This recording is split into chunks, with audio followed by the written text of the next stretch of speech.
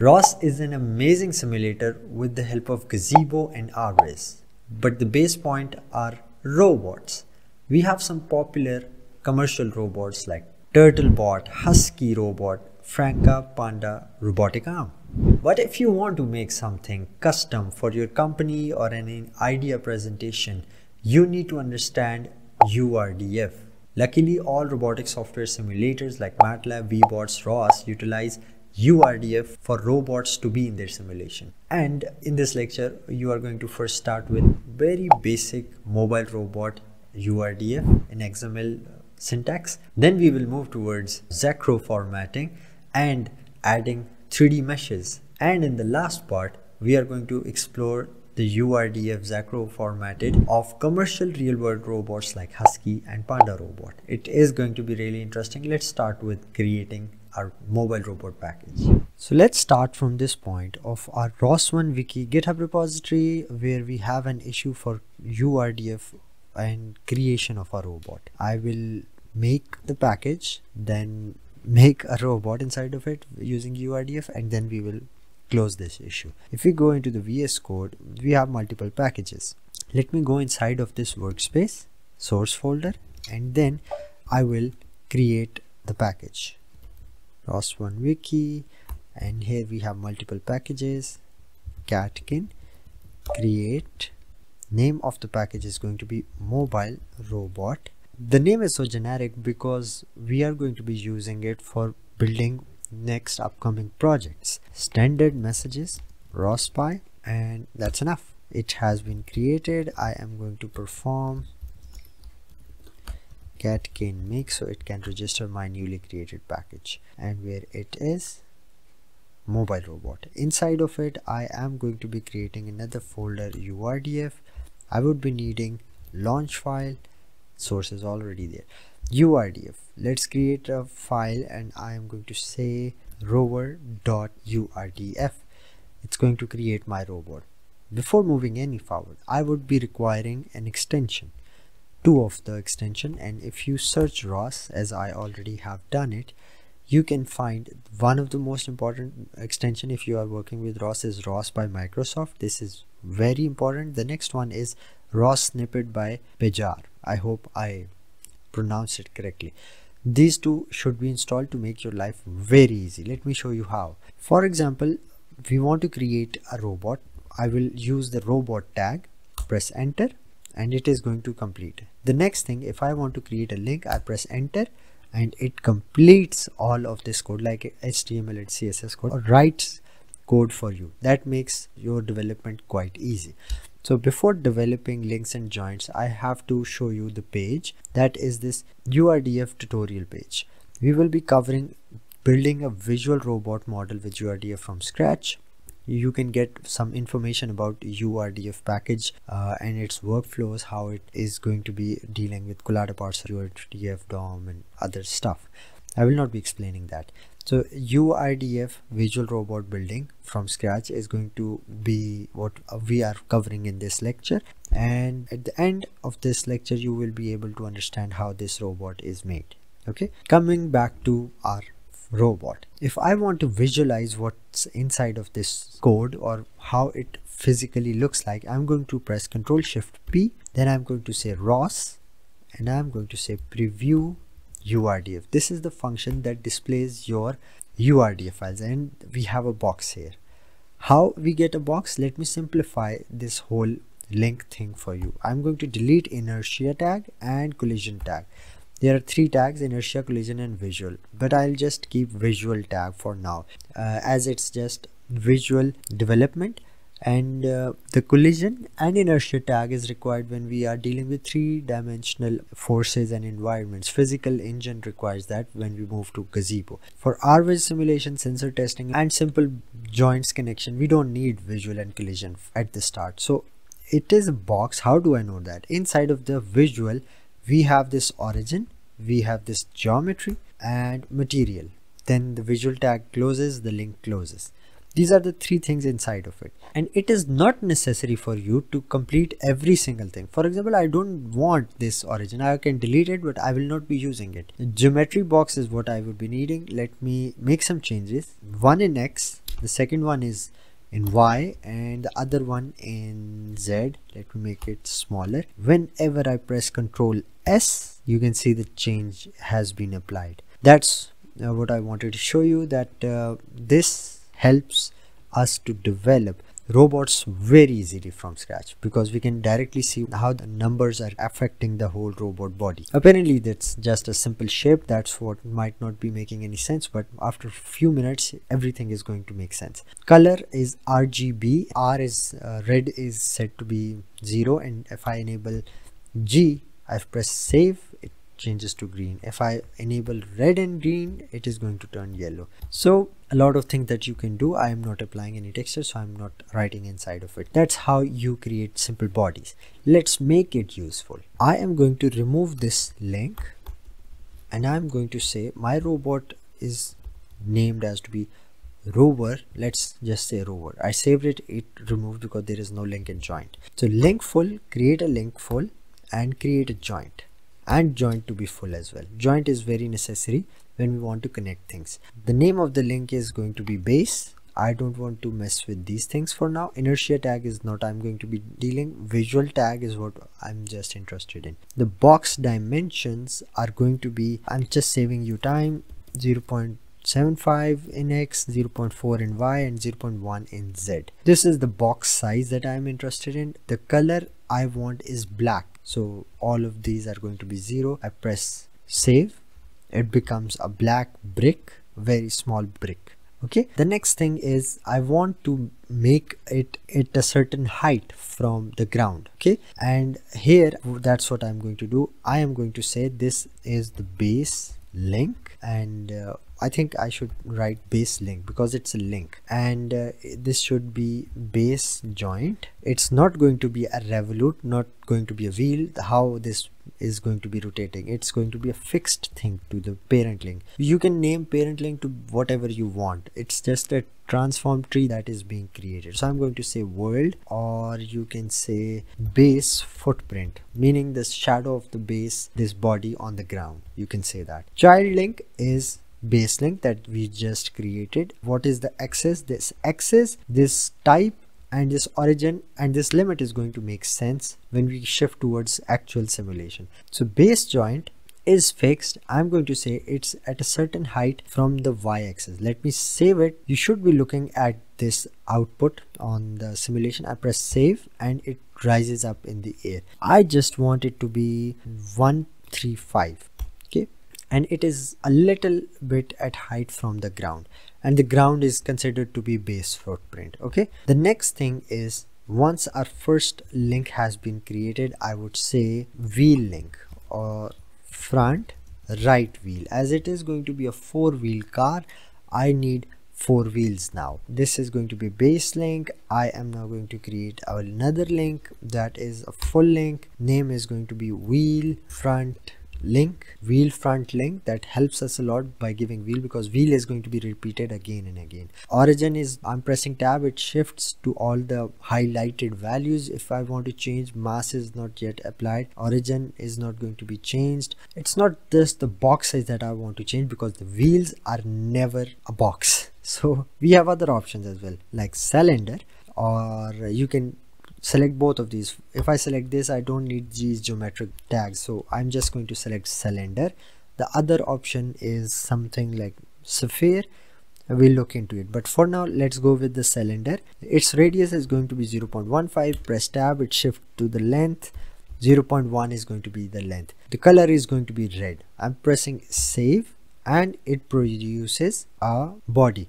But the problem is why it is black? The main question I think the reason is of the joint. There is no joint for it that uh, connects it. Although still it should not be black but I'll fix it. 0.15 0.1 and the cylinder is created. I am going to say now as the link has been created I am going to consider this is as a child but the parent is going to be base link. Okay? Because I want to connect it to the base of the robot and the wheel is going to be connected accordingly. As you can see wheel has been disappeared but disappearance is because of it got into this thing inside of it. If I change this origin press save you can see it is there. And I want to bring it to the actual point which is going to be 0.25 in X 0.4 in Y and 0.0 in Z in simple motion. But as you can see it is flat on the ground. I want it to be 90 degree rotated along the x-axis and you can see it became like a wheel at a particular point. But apparently you can see the body is looking small so i'm going to change 0.8 and 0.7 save it. It becomes little bigger. Before moving forward let's fix the color so we can see the things. I'm going to make it red and coming to the joint this time the joint is not revolute, not fixed. There is another type continuous because the wheels are not limited. This revolute joint is causing the robot to have a certain rotation till certain point but we want it to be continuously rotating so we don't have the limits for it the wheel seems to be ready but it does not seems to be like front right wheel it seems to be rear wheel and it's right also so wheel rear right and I would make it as well. So the next thing is because we have the left ones as well. I'm going to now copy it as all of the properties are going to be same. One thing before moving on this cylinder is going to be applied in the collision later so i should copy it accurately. Copying it as this was the rear front wheel and the next one is going to be rear left wheel I'm going to just bring in everything and it is going to be not joint name naming convention is again incorrect. Wheel right joint and wheel right joint wheel left joint. This name causes a lot of problems when we fall into same names and the error is not informed properly where it lies. So now this is not a right wheel it is a left wheel although it is rear and it is going to be a cylinder it is going to be a red collision. Its base link is going to be parent and its child link is going to be left wheel. But what is the main difference? In the x-axis is going to be negative. Let me save it and you should see a wheel here. And now we have our wheel here it seems to be an interesting robot but we need more wheels on the front, front right and front left. So I am going to copy the both left and right and I'll name them properly then we'll see the robot.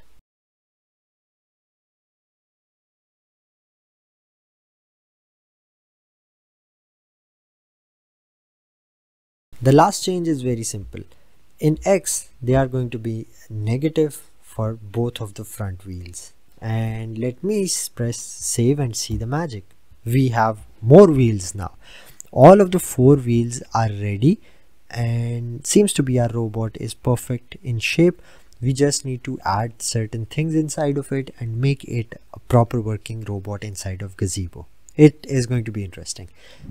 Okay we have our robot apparently but it's inside of visualizer of the plugin of Microsoft. But to bring it in an actual environment, we have to look into transforms and RViz, how the robot is going to be behaving in the environment. And then the, comes the gazebo part. Transform are the first point because we have to test the rotating joints, the dynamic joints. They should be rotating in the actual or the required direction. Because the simulation does not understand anything. I can be doing something like rotating the wheels in the forward direction the front wheels and the rear wheels to be rotating in the reverse direction. I can do that. So we have to fix these with transforms. And within transform there are two categories joint state publisher and robot state publisher. You need to understand this. In a robot we have two things fixed joints and non-fixed joints so fixed joints are those which are not going to be moving obviously.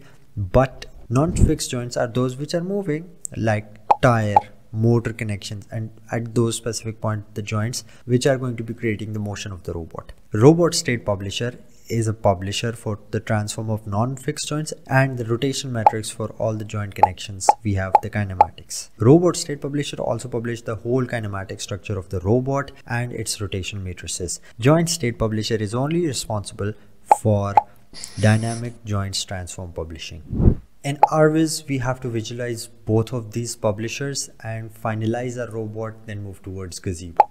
Let's see. Before directly moving to RViz, we need to fix certain things. Number one, we need to define axes. We need to make color acceptable. For that, I want to keep the base red and I am going to move to, it is going to be black on the wheels. I have to write something here and it turns black, provide the name of it it's necessary for RViz I guess so I'm going to make an appropriate name here let me copy it and uh, we are going to do all of it. Copy it and paste it to all other available wheels I have. It's black.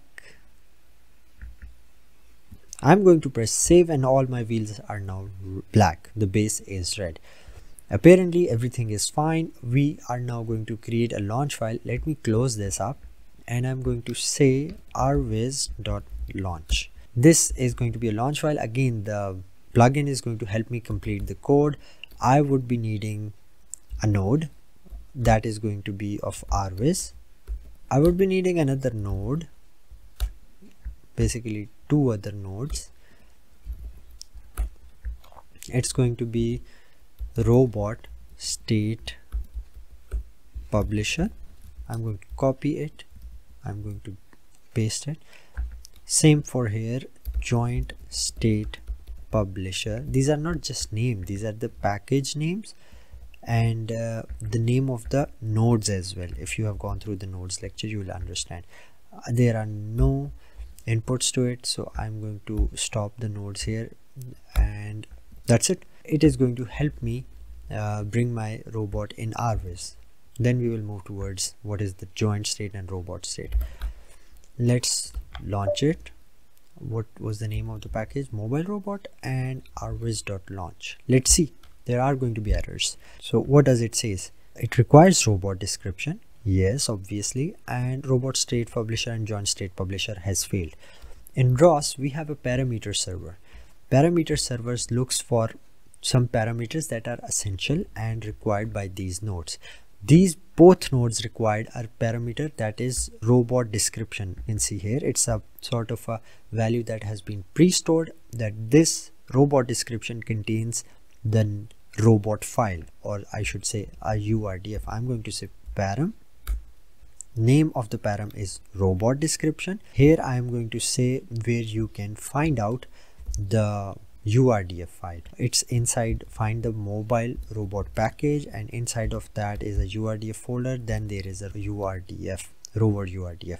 Now once I have saved this URDF file in the robot description but before moving Keep in mind that it does not contains a value. It is a text file as URDF we are providing. It's not some numerical thing. So it's a text file URDF that we are saving in robot description. And the next thing is we have to make some changes in the URDF as well. I don't want to waste more time on showing you some errors. The thing is you can see this is the base joint and the base joint is from the base link. There is nothing in this whole file that is named as base footprint. So I'm going to create an empty link which is going to have no property and still be a link okay? So base footprint so you can create a tree of transforms out of it. Let me launch it and see uh, do I get any errors or not? I get a lot of errors. I wanted you to see this error because it is really essential. But before closing I'm going to show you one thing. If I say base footprint and I am going to add robot model I am also going to add a transform here. Transform and robot model. Robot model is going to show me the robot i have on the robot description parameter.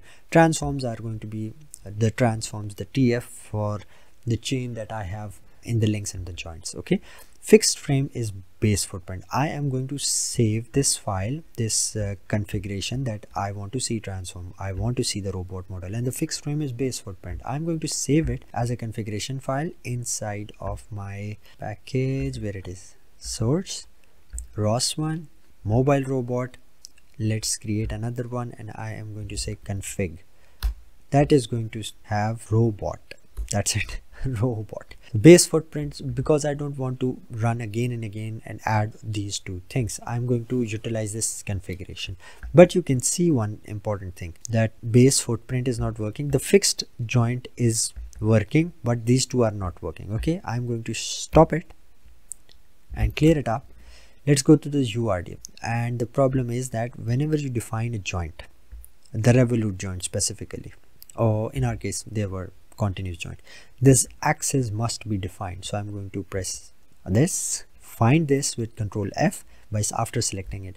And i want you to replace all of these with x's xy with this specific value. So it sets a value of x uh, rotation to 1 that's been applied. I don't want this to be applied to the fixed frame. And next thing is i'm going to create an argument. Argument is going to store my value. The name of the argument is rviz config file the value is going to be from get the rviz config file and it is inside of config folder and it is named as robot.rviz this is the file i'm referring to robot.rviz now i want you to utilize this into rviz that uh, hey rviz i have something for you to load and it is going to be a little interesting.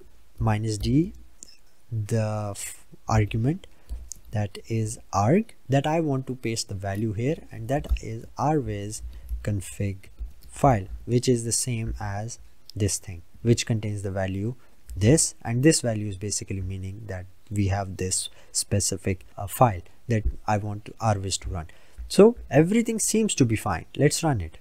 This time you can see we have the robot working and in the terminal we don't have any sort of warning or error you can see the robot wheels are there there are transforms and it did not require to add fixed frame base footprint robot model and transforms. Interesting. But what was the whole theory of joint state publisher and robot state publisher?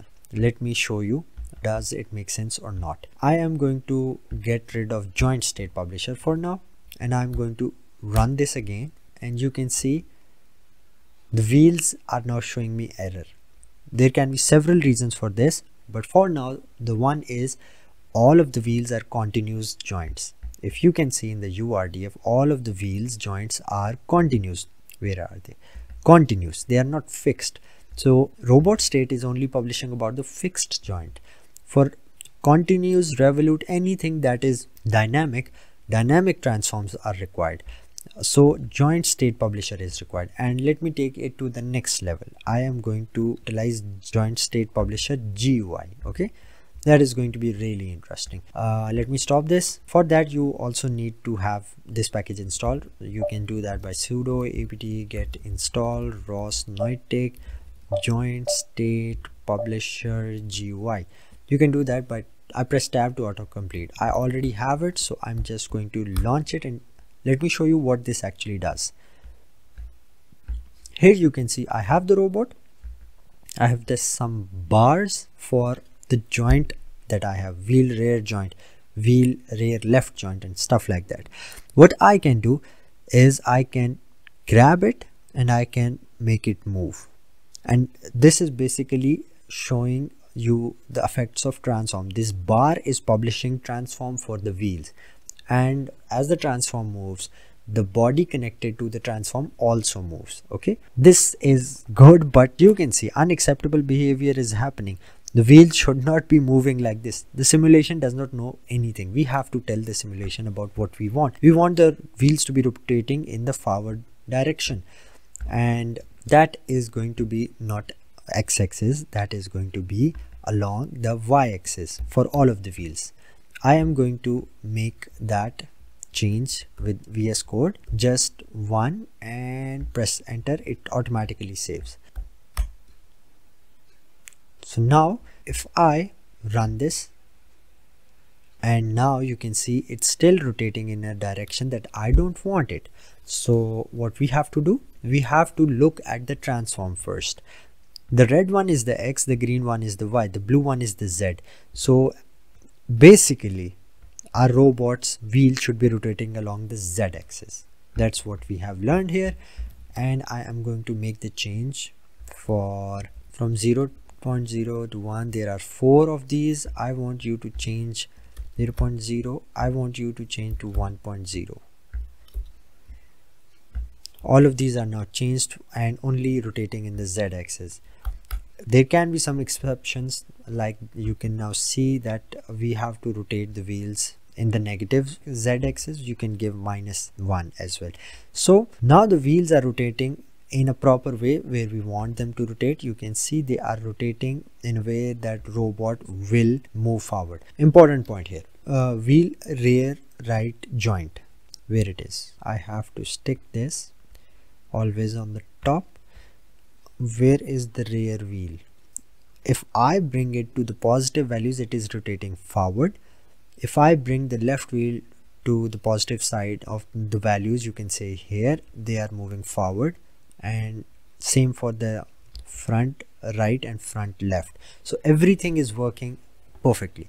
In most of the scenarios what I have to do I have to rotate. If I move forward from negative to positive values one wheel is rotating in the opposite direction and the other one on the forward direction. So in that scenario I have to change this axis of rotation. So our robot is ready. This is the script that is making this robot work. Let's move on